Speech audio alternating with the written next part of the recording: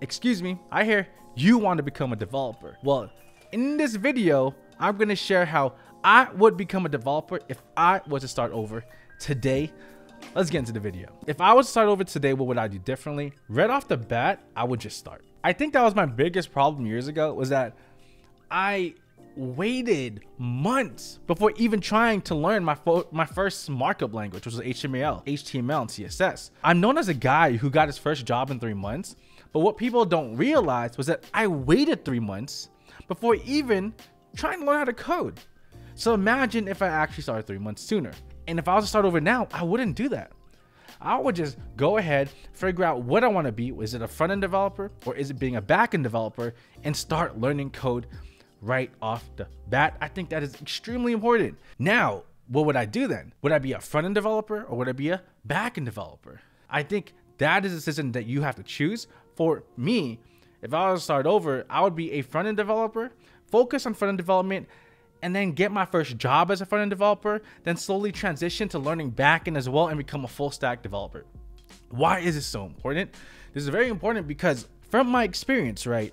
And from what I've seen and from what I've negotiated with and etc., I genuinely believe that I make much more now focusing on data backend than what I probably would have ever made as a front end developer. I really believe that I probably would have maxed out at maybe 160, maybe $150,000 total compensation if I was only focused on React JavaScript. Am I saying that $150,000, $160,000 a year isn't a lot? That is a lot of money. I like making $50,000 to $100,000 more than 150K a year. It is pretty nice having more money in your pockets, right? So I, I, I personally would eventually transition to full stack because full stack and backend developers, from what I've seen, tend to make more. So anyway, if I had to start over again, I would start as a JavaScript developer, then transition to a backend developer, becoming a full stack developer so I can get more bang for the buck, right? Get paid more money. Yes, the job may be more stressful, but who doesn't want to make more money, right? Now let's move on to the next steps. Now I'm deciding, okay, I'm gonna start learning code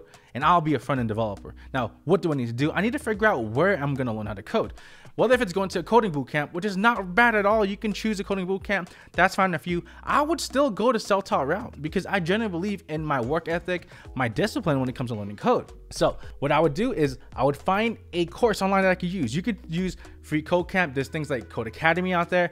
I personally, again, I use Zero to Mastery. And if you want to check them out, link in the description below. But you do not have to use them. I have seen thousands of people use Zero to Mastery, and all of them recommend it. A lot of them recommend it, and I do too. I was actually using Zero to Mastery before I even realized they had an affiliate program. So that is why I'm more than happy to promote them. Anyway, anyway, I would use Zero to Mastery, and I would go through their junior to web development course. Right, I would learn HTML and CSS, and then JavaScript, but this video isn't about how to do it in three months or six months. This video is just about how to become a developer right off the bat. So I wouldn't put a time frame on how much time I should put into learning code. Now, I don't want to waste a lot of time. I could do it in six months, but I don't want to stress myself out. I still want to have some, a little bit of a life outside of work and learning code still, right? So what I would do differently than I did last time, rather than trying to rush it like crazy, is I would just take my time. Now, when I'm learning HTML and CSS, it is it is important that I don't spend too much time learning it. I would max it out in maybe three months, four months tops, because everything that you need to know about HTML, CSS, you can literally Google.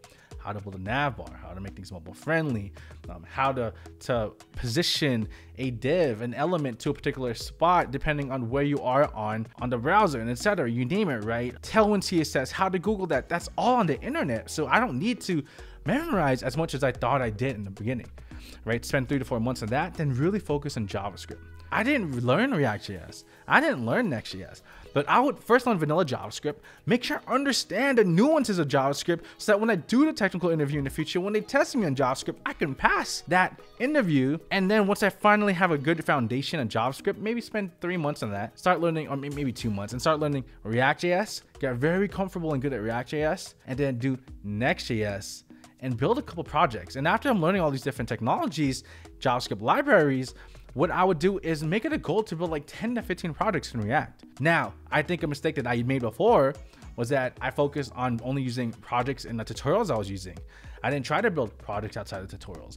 I didn't use technical blog posts that people never put on their portfolio, but I would go to like dev.to and really look at technical blog posts on there and build whatever technical blog posts they have in React.js, build 10 to 15 projects, put that on my GitHub, put that on my portfolio. And even on top of that, another thing I would do differently is I never committed anything. I, I never pushed anything to GitHub, right? If you look at my GitHub, it's all white checkboxes because I just did, I never really pushed anything there, right? I never. So my goal is it would be to commit something every single day and make sure every day of the year on my GitHub account it has a green checkbox so that when hiring managers look at my GitHub, they see, dang, this guy actually codes every single day. And that was that's what I would do. Now, other than that, one mistake I know that I I made is that I would study code at home. my biggest mistake.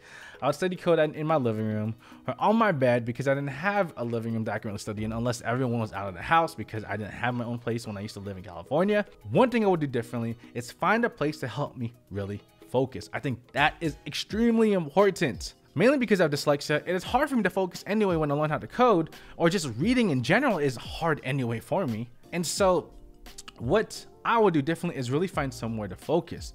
And so for me, what I did eventually in the past was I found a boba shop that had really good internet that was quiet during the day.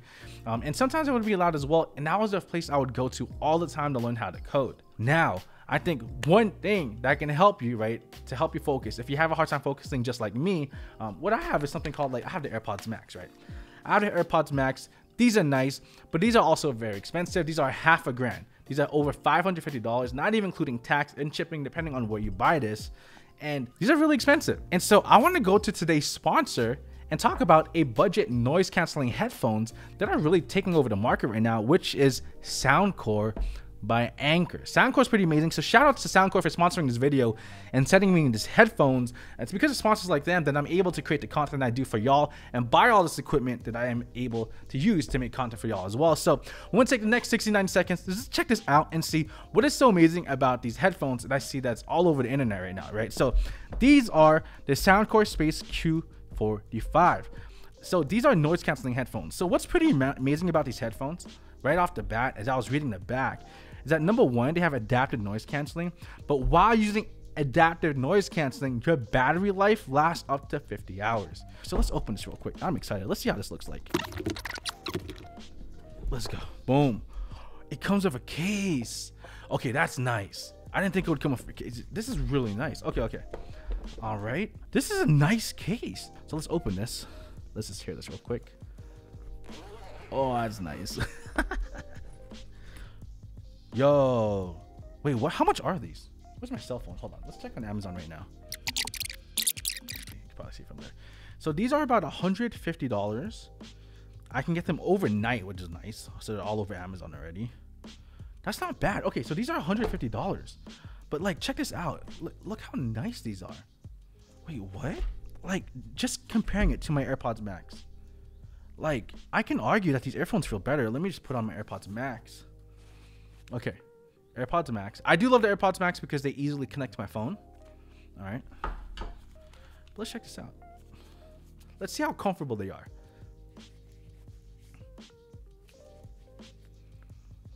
These are actually not bad. They, they rest really comfortable on my ears. That's not bad at all. Let's listen to this. If I had to choose between my AirPod Pros, right, in regard to sound qualities, these headphones win. Yeah, so these are pretty amazing. So Soundcore, I want to thank y'all for sponsoring this video.